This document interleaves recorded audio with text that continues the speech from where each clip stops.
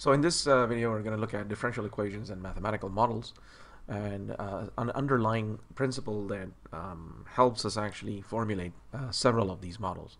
So the first thing we want to look at basically is the, uh, the, the population models. So the basic idea stems from the fact that a population, for instance, is dependent, its growth would be dependent on the number of individuals uh, or members of that population. So in other words, so if P is the population, then dP dt, where population would be, of course, a function of time, then that is proportional to the original population at time t. Okay, so in other words, uh, that would make logical sense. But of course, we can't work with this proportionality symbol, so dP dt becomes basically equal to some constant times the population. And this basically is a very important population model, which you will find that most, uh, so many uh, different mathematical models fit into this particular type of uh, uh, an, a mathematical model, an equation, a differential equation. So this is a first order differential equation, as you can see, which is separable and we can easily solve it. And its solution is, in fact, um, as you can see here, it's actually uh, CE to the KT. You can see it's a separable equation, dP over B, P equals KDT. We will solve these equations before in examples. So this basically gives you the exponential growth model, essentially, that is for populations, like for instance, bacterial, viral populations, even human populations uh, follow exponential models.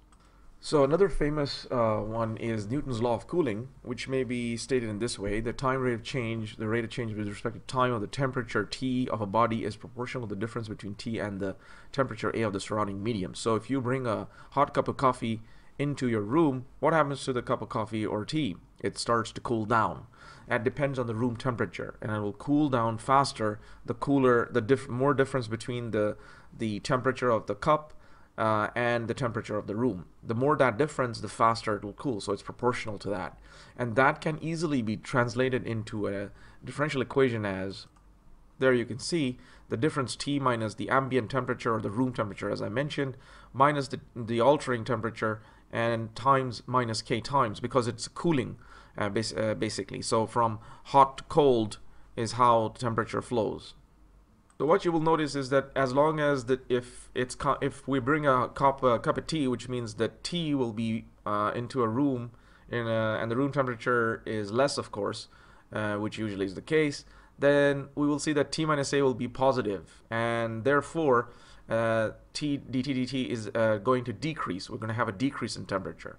However, if we bring something the opposite, which means that t means a cold item so if you bring, say, ice cream into the same room, and its temperature is of course lower than the room temperature, then, then T is going to be less than the ambient temperature. And so this difference will be negative, which means temperature will increase. So the temperature of the ice cream, we expect, it'll melt. That's what it usually does.